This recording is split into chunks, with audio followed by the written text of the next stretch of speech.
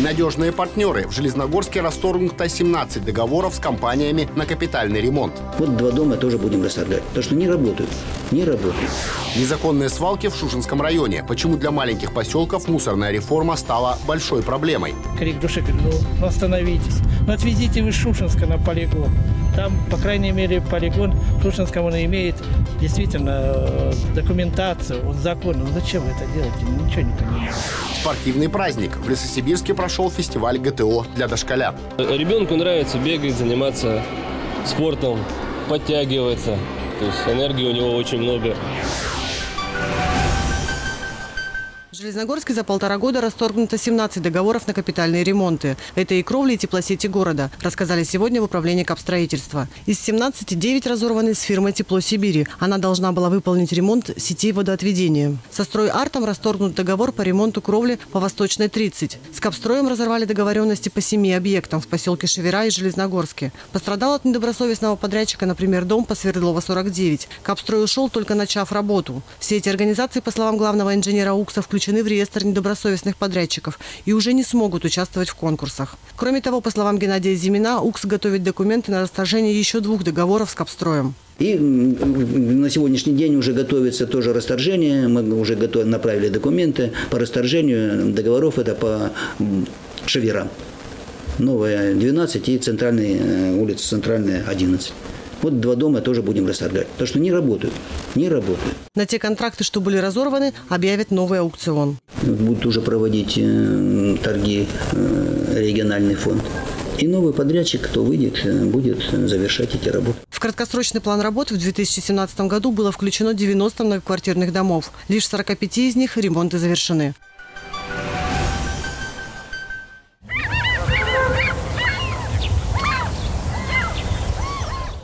Глава Ильичевской территории Иван Меркель изучает документы не в кабинете, а на помойке. Квитанции, чеки и письма указывают на имена и адреса хозяев мусорных куч, которые с устрашающей скоростью вырастают вокруг поселений Ильичевского муниципального образования. После того, как полигон твердых бытовых отходов в Шушинском стал платным, груженные отходами машины потянулись из районного центра в соседние села.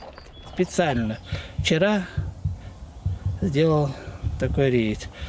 За 45 минут я остановил 6 машин, которые ехали Шушинского Ильичева. И седьмой – это трактор. С прицепом, без номеров, без всего. В этом тракторе было где-то тонн 5 с верхом этого мусора, в мешках, строительный мусор в основном везут сюда. Я не знаю, вот это уже крик души, что делать.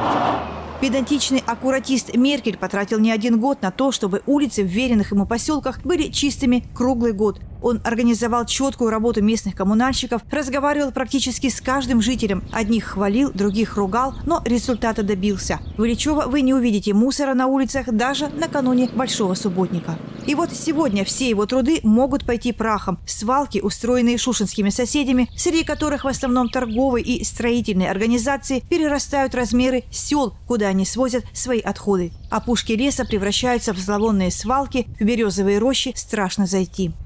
Вы же видите, у нас поселки все-таки чистенькие, ухоженные. Поэтому эта проблема очень серьезная. На, сё- на сегодняшнюю дату, на 19 год, не выделено ни копейки на содержание мест складирования. А что мы будем делать в мае, в июне? Отсутствие привычного финансирования из районной казны обусловлено вступлением в силу нового закона, по которому обеспечением чистоты и порядка в наших поселениях будет заниматься специальный региональный оператор. По изменению законодательства по сбору вывоза, утилизации, переработки твердых бытовых отходов, который с 1 января 2019 года вступает, это вообще парадоксально в том, что э, выигравшиеся операторы, они не готовы. У них нет ни техники, у них нет ни полигонов, у них нет ни заводов, у них нет ничего. Когда, значит, мы к ним обратились, э, чтобы они зашли на нашу территорию, они говорят, а нам нечем к вам заходить. У нас нет техники, мы не способны. А закон-то уже принят. И у нас в уставах Минюст нам не дает отказ отмены э, сбора вывоза. Поэтому мы сейчас продолжаем сбор вывоза на нашей территории, потому что иначе мы во что превратим поселки. Судя по масштабам бедствия, многие шушинские предприниматели не заключали договоры ни с новым региональным оператором на вывоз мусора, ни со старым. Привыкшие экономить, они почитали, что и платный полигон им обойдется дороже, чем расходы на топливо для машин до Ильичева или Казанцева. Глава Ильичевской территории впервые за всю свою карьеру не знает, что ему делать. Все письма и просьбы о выделении средств написаны, телефонные переговоры с министерствами закончены, документы для заключения договора с новым оператором готовы, но ничего не происходит. Разве что свалки разрастаются, приводя жителей образцовых поселений в ужас. Не понимает Иван Александрович ни законотворческой поспешности, ни человеческой жадности, ни экологической безграмотности. Совесть людей тоже должна быть. Почему мы так не любим себя и свою родину? Я всегда говорю, Господи, ну зачем вы это делаете? Но ведь, если честно сказать, ну уникальны наши поселки. Но действительно, наш народ уже приученный. Но, к сожалению, мы же не можем народ всего района приучить, правда? Особенно жителей поселка Шушинского. Я не знаю, как к ним уже обращаться. Я уже три года подряд крик души говорю, ну, ну остановитесь. Ну отвезите вы Шушинска на полигон. Там, по крайней мере, полигон Шушинского он имеет действительно э, документацию, он законный. Ну зачем вы это делаете? Ничего не понимаю. Не понимаю.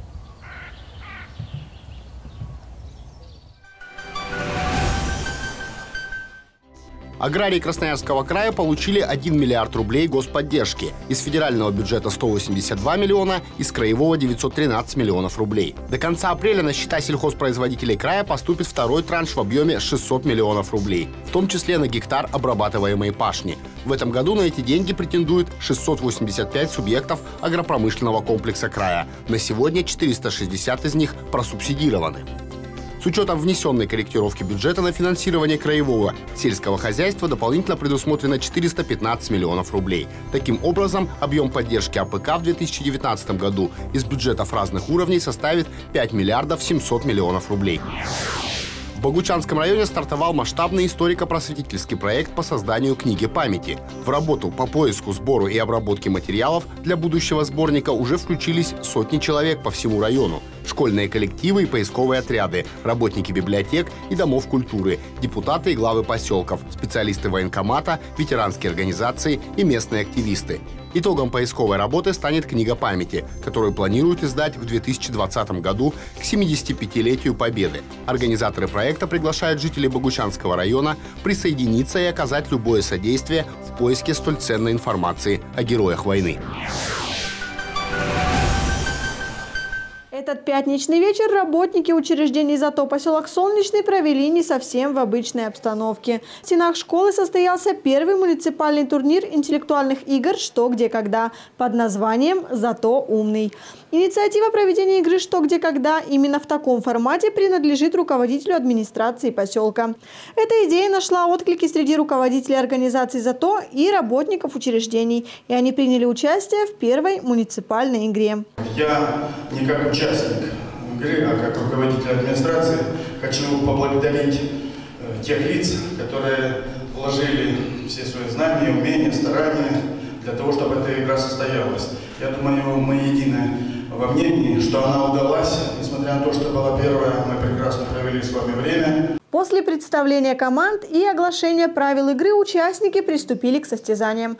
Вопросы были на самые различные темы. И единственное, что их объединяло, ответ подчас требовал не просто эрудиции, а смекалки и логического мышления. Участники интеллектуальных состязаний были хорошо подготовлены к игре, но некоторые вопросы все же вызывали сомнения в правильности ответа. Пять. 4, 3, 2, 1. Речь идет о Юрии Гагарине, родившемся в селе Глушино. Это кресло или выжимем космического корабля.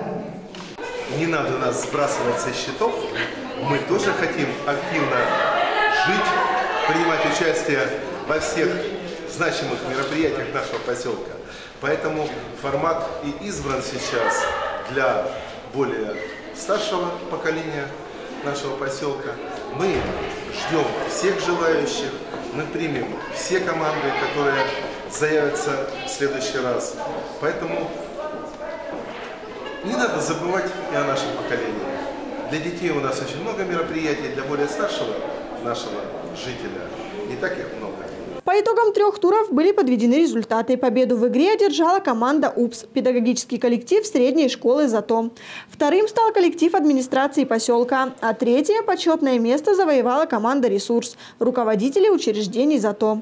Победители и призеры получили грамоты и медали, а команда старшей школы поселка, кроме этого, завоевала и символ игр – мудрую сову. Участники отмечают, что игра была проведена на высоком уровне. Сложные, но интересные вопросы. Это был один из самых увлекательных и познавательных конкурсов, побуждающих глубже изучать историю. Первые два года со дня возобновления комплекса ГТО происходила его апробация. В это время тесты выполнялись только для того, чтобы скорректировать их и установить нормативы для получения знаков ГТО. В рейтинге городских округов Красноярского края за 2018 год, который определяется по различным критериям, Лесосибирск, набрав наивысшее количество очков, занял первое место. Мы начали работать э, с 3 с 1 февраля 2017 э, года. То есть работает центр тестирования в городе Сибирске два года. В течение этого времени порядка 2200 человек населения города Лесосибирска приняло участие в выполнении тестов ГТО.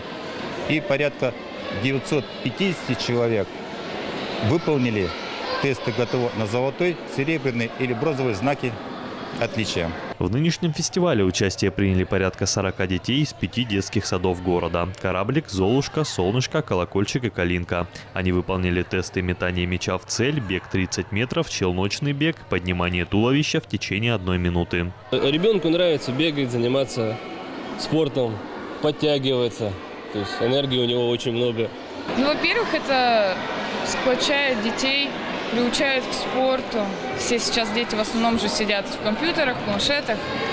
А здесь можно, как говорится, ну, дать ребенку понять, что надо стараться достигать целей.